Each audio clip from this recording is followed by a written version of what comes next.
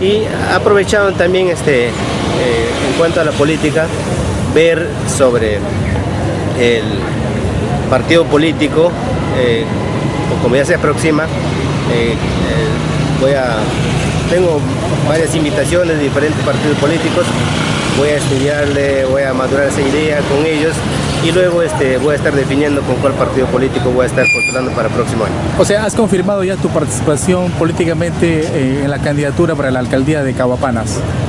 Por supuesto. ¿Y cuál eh, es ese movimiento regional que, que- que quiere eh, que eh, integres a- al plan político para la zona de Datén del Marañón?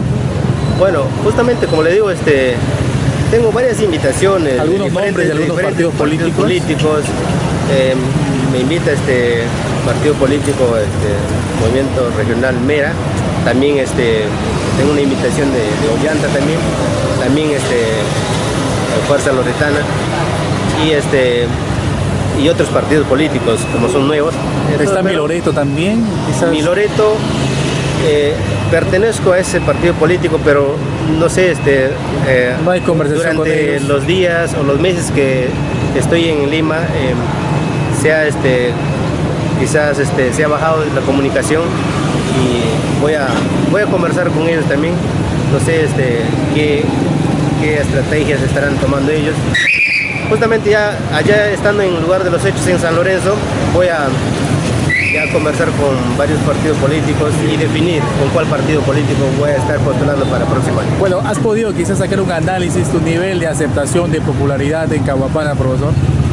Por supuesto, eh, sigo este, en constante comunicación con algunos dirigentes de, de las organizaciones y algunas autoridades y las bases que me han apoyado durante la campaña, ellos sigo en esa comunicación y luego eh, también este, siempre por radios, emisoras, como es Oriente también siempre eh, doy mensaje a, mi pueblo y a los militantes para mantener eh, esa comunicación con ellos. Hay un gran contendor político que también goza de mucha aceptación, que es el profesor Ricardo Pizango. Bueno, va a ser una, una disputa, una campaña política bastante fuerte en Caguapanas. Lógico, cada, cada candidato, cada político tiene sus popularidades.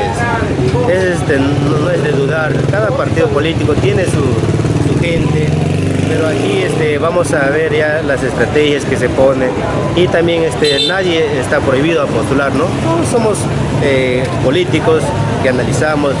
Eh, lo importante es que, que debemos pensar en el desarrollo y progreso de nuestro pueblo. ¿Cuándo estaría pidiendo licencia ya para dedicarse netamente a, la campaña política, ya teniendo seguro qué partido político va a representar? Bueno, como le digo, este, esta decisión lo voy a tomar ya de- de- después que tengo la conversación con los partidos políticos que, que están en, en la provincia de Atén del Marañón.